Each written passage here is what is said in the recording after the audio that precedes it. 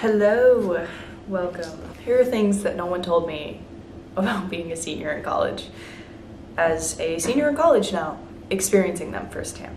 Last year, I could never understand why my friends who were seniors would skip class so often until I found myself skipping class. As a senior, a lot of the classes you're gonna take are for credits anyway.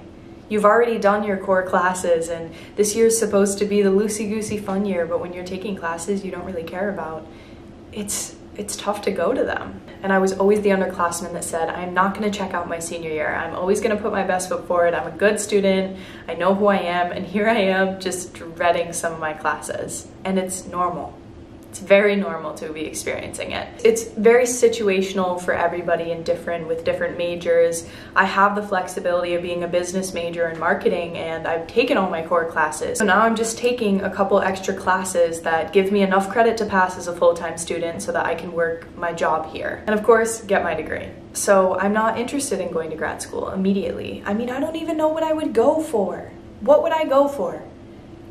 marketing, I don't really want to take any more marketing classes, I'm gonna be honest. So if I were to go to grad school, I would wait. I would wait and figure out what I really want to get a higher degree in and then go into it. There's also the feeling of imposter syndrome this year that I really didn't expect. And I'm sure other people can relate. I might be feeling it a little heavier than others because I am living in a freshman dorm.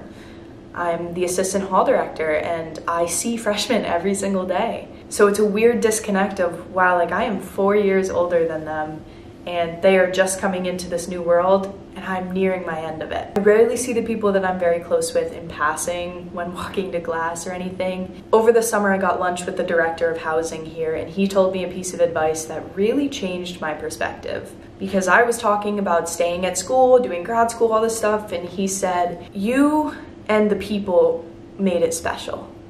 So if you stick around, you're gonna watch all the people disperse out and you're gonna be left with a campus that you don't recognize half the people anymore. And it's gonna feel different and it's gonna feel odd.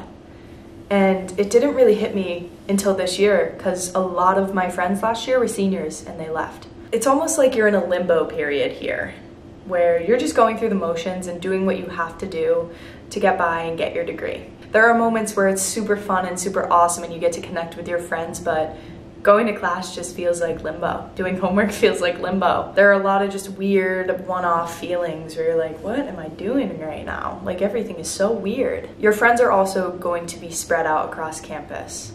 All my friends are living in apartments off campus.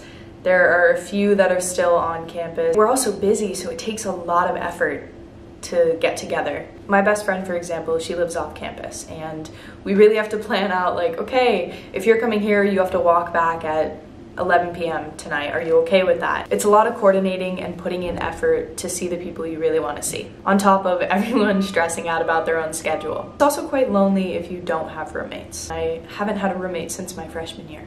And I come home to a two bedroom apartment, which is incredible and I'm so grateful for it, but it's it's definitely lonely at times. And if you're a senior and you're living on your own, it's it's almost like you're experiencing what you'll experience after grad now. So I feel like I'm adjusting to what post grad life will be like right now based on my schedule and all that stuff. It's also much harder to make friends. It's very unlike the first two years of college where it's so fun and exciting and you want to hang out with everyone and meet everyone and exchange numbers with everyone to figure out who you mesh with.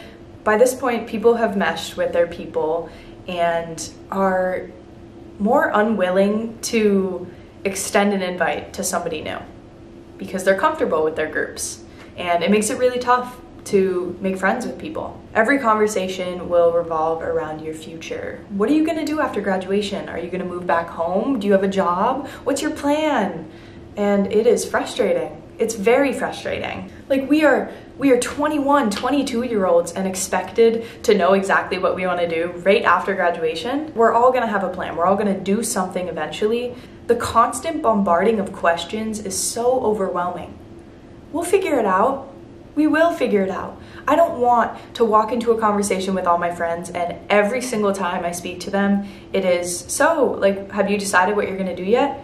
Why don't, why don't you ask me how my weekend was? Why don't you ask me anything else? My best piece of advice is to say, that's for me to worry about. That's for me to worry about. Or I'm figuring it out. I'm figuring it out. Because you don't need to go in depth with everyone about what you are to do, what you aren't to do. It's also a lot of job searching.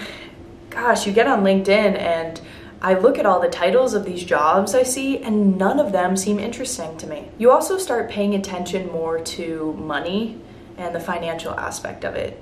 I mean, a lot of people are coming out of college with student loans, so it's factoring in I'm gonna have loans for X amount of years and it's gonna be this monthly payment. And then you start realizing everything is gonna end up being a trade off.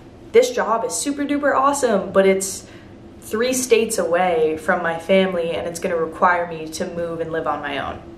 Or this job is super awesome, it pays great, but I'm gonna be living at home and am I able to live at home? Every single decision you make is gonna have a weird little trade off that you need to start thinking about. And don't even get me started about veering off the path. The education system does not favor creativity. The strict get this internship, do this, do that is not for me. I know that's not for me. And when you do that, a lot of people think it's far fetched. Like, oh, you're not gonna, what are you gonna do if you're not getting a nine to five job? Like, there are people that don't enjoy nine to five jobs, so they don't work them.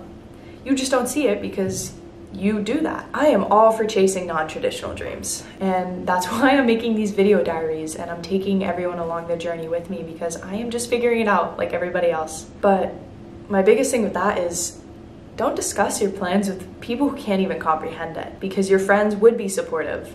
And the people that are telling you how are you actually going to do that? They don't have your best interests at heart. Don't share that with them. There also comes a point in the year where you just need to accept it. You got to accept and embrace the uncertainty of the year and the uncertainty of post grad and what is going to happen in the next couple years. It's uncomfortable, you know, the fear of the unknown, but you've got to come to a point where you can be comfortable with that. And if you do that early on in your semester, it's going to make it so much better. You're going to really be able to enjoy where you are at and be present. You're leaving the safety net of college, and it's scary, and I know because I am scared. I am so scared but I'm so excited at the same time. The more you dive into what you want to do and less on what other people want and expect, the happier you're going to be. So dive into it now. Think about you. This is your senior year. This is your experience. Like, think about you. And that's something I had to do. I was living for other people. Bittersweet to know that you're leaving this place that you've called home for the past four years. But it's also so rewarding when you look back and see how much you've grown. What a privilege it is to be able to experience such growth as a person in this stage of life. Personally, I've found that facing my fears head on, acknowledging what I'm feeling, documenting it, discussing it with myself, journaling. I, I journal quite a bit. I am feeling a lot more comfortable with where I'm at and who I am just by doing this. You craft your own path but you need to choose you in doing so and get to know you. What do you really want to do? Take away all the noise. Take away all the noise. Take away all the expectations. Ground yourself and think, what is it you actually want to do? What do you envision yourself doing that makes you bubbly and excited and happy? What is it? And then do it. Go for it. Life is too short to not. And that's what I'm doing. And I'm learning that right now. And I can't wait to carry it with me throughout my life my 20s 30s 40s etc start learning to be comfortable with the uncomfortable the uncertainty you can do it i can do it we can do it together so let's be uncomfortable. That's it. Let's do it together. That's all i have for today